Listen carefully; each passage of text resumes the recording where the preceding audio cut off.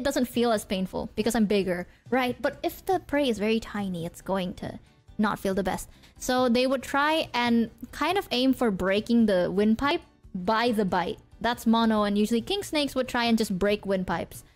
For my ball python, they don't really aim for breaking the windpipe, but they end up trying to suffocate. Like they try to suffocate their prey. Did you see what he just did there? He just rubbed his face on the edge of the containers. I feel like he's... Are you...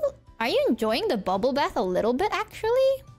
Snakes actually will do that before they want to start... Um... Oh, sorry. Before they want to...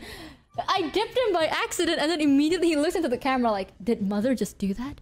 They would actually start rubbing their face on a surface that's rougher when before they want to start shedding because they kind of need the friction to help remove the skin. And I just saw him do that, so I guess he's going to shed earlier than usual. It's really good. That's really good. Yeah, like a like a hand. It's it's really cute, really really cute. But yeah, he would try to suffocate his prey by wrapping his massive ass muscle body around the prey itself. It's really, really morbid, but I know this is fucked, but it's cleaner. I'm learning so much. Yeah, that's why the scales are really grippy.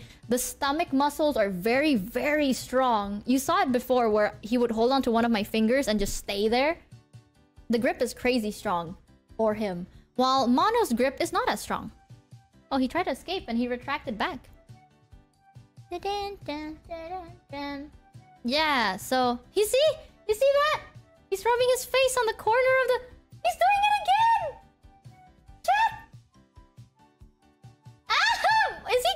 on stream? What? Oh, you saw that? I've actually... He's Now he's rubbing his face on the rock. Look! He is itchy. He is not itchy, Anna. He's about to shed. Wait. What if we... What if we see him shed on stream? Oh no, you're going to remove your skin. That's nudity. What? Shed what? Yeah, so... Oh, fun fact. Snakes, their skin, unlike humans, right? We shed a little bit. Snakes would shed their whole body. And obviously, they need to like have a dent, right? They need to have a dent on their skin. And then they're going to continue slithering on a surface. It's like peeling, you know?